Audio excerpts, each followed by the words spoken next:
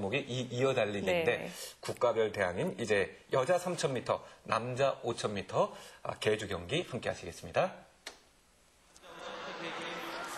자, 먼저 함께 하실 종목은 예. 5,000m 남자 준결승 경기가 되겠습니다. 한국과 미국, 캐나다 그리고 러시아까지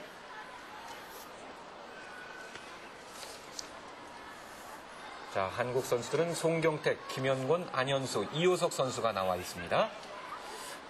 안현수 선수와 이호석 선수가 뭐 방금 전에 그 장면 잊어, 네. 잊어야죠. 그렇습니다. 자, 5,000m 개주 준결승.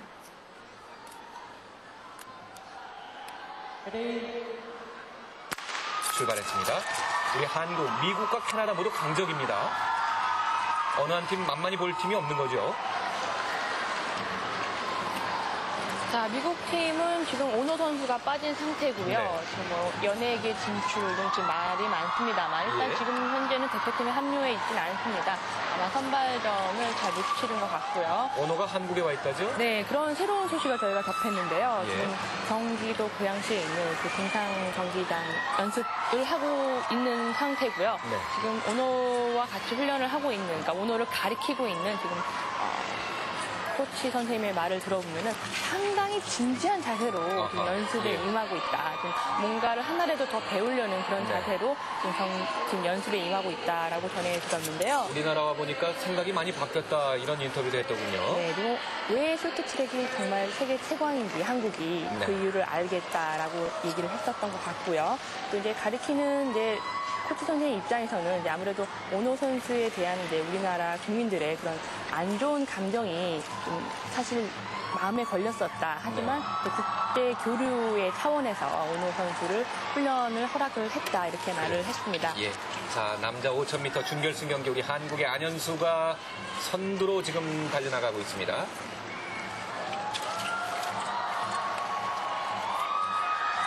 자, 뒤쪽을 따라오고 있는 선수. 캐나다도 아주 강점을 보이고 있습니다.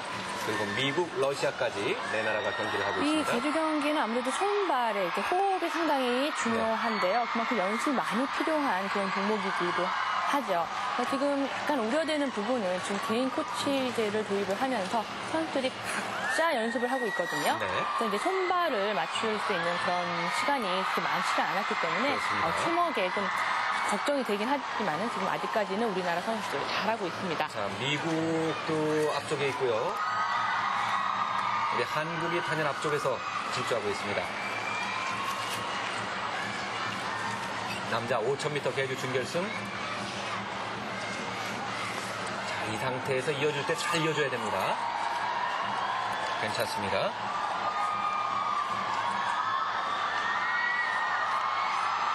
자, 지금 우리 한국의 예, 이호석 김영곤 선수죠. 그렇습니다. 김현곤 남자 1000m의 금메달 28바퀴 남았습니다.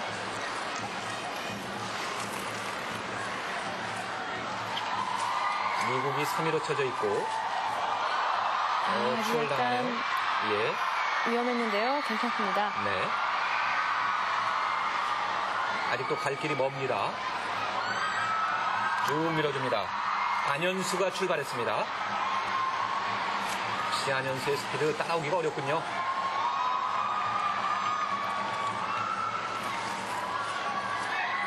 아, 아주 지금 이어주기 좋습니다. 네, 밀어줬습니다.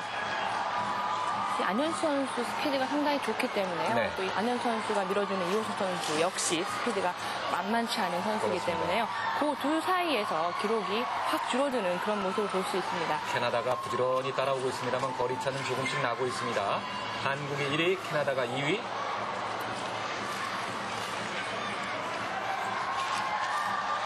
네, 남은 바퀴는 21바퀴.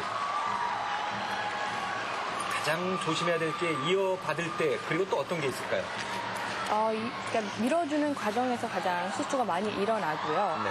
그 외에는 이제 타면서 이제 스피드가 워낙 많이 나는 종목이기 때문에 이제 코너 부분에서 밀어주었을 때의 그 스피드를 이용해서 이제 추월을 하고 당하고 이게 많이 일어나거든요. 네, 그리고 이럴 때 이렇게 네. 다른 나라 선수들과의 그렇죠. 조심해야 자, 뭐 이제는 차이가 많이 납니다. 남은 바퀴는 14바퀴. 쭉 밀어줬습니다. 안현수.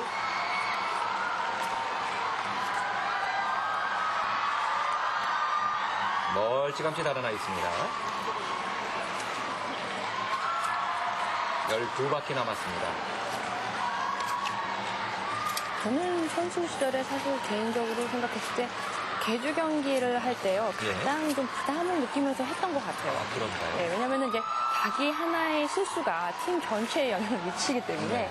이제 팀에게 이제 폐를 끼치지 않으려는 그런 생각에서 상당히 예. 부담을 가지고 경기를 항상 했었던 것, 매 그만큼 바퀴마다 예, 긴장을 했었던 것 같아요.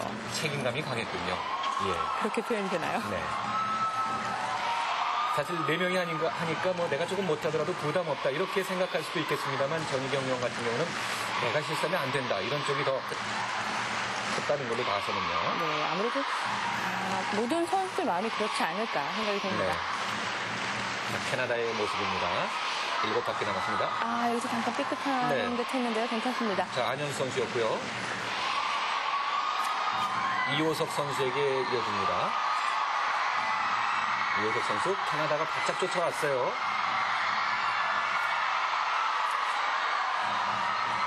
아직까지는 괜찮습니다. 아, 이호석 선수 예. 넘어지는데요.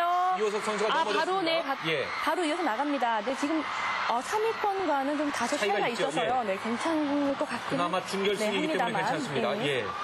지금 캐나다가 1위, 우리가 2위, 우리가 1위였는데 캐나다가 추월을 했고요. 아, 네, 이호석 선수 네, 등판 상태가 그닥 좋은 편이 아니기 예. 때문에요. 큰 네, 부상은 어려운데요. 아닌 것 같습니다만. 네. 자, 캐나다 두 바퀴 남겨놓고 있습니다. 아, 지금 저렇게 물같이 보이는 부분들이 있거든요. 네, 물은 이제 얼음판을 좀 더 고르게 하기 네. 위해서 이제 뿌려준 거고요. 또 예. 아무래도 이제 파인 부분을 이제 좀 더 이렇게 보완하는 그런 역할을 하겠죠. 예. 계속 이게 마지막 경기가 되기 때문에 네. 분들이 안 좋을 수밖에 없습니다. 네, 약간의 고민이 있었습니다만은 네, 결승 진출 무난히 네. 합니다. 대한민국과 캐나다가 결승에 진출했습니다. 네, 다시 보시겠습니다. 5,000m 대주 경기.